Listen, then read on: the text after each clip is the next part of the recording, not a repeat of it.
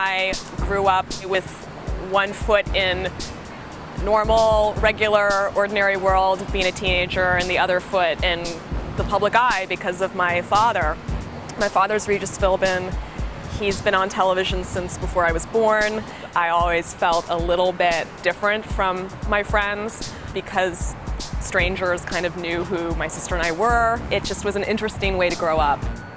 The Daughters is about three best friends who are normal, ordinary girls except for one big thing, and that's their parents are all extremely, extremely well known. One girl, Lizzie, is the daughter of a supermodel. Another, Carina, is the daughter of a billionaire, and Hudson is the daughter of a pop star.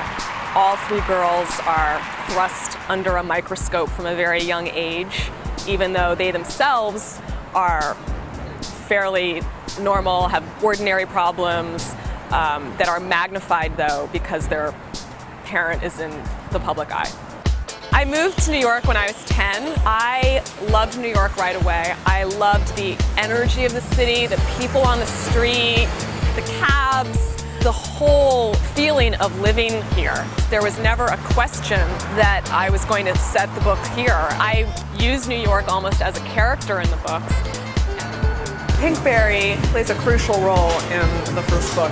It's where my characters get together and where they have their emergency crisis session.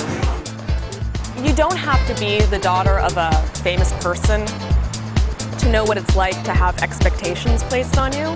I would hope that people reading these books would, first of all, know that they're not alone, that everyone has to kind of rise above someone else's opinion of them, and, and also to be inspired to really find your true self. You know, to, that's what these girls are doing.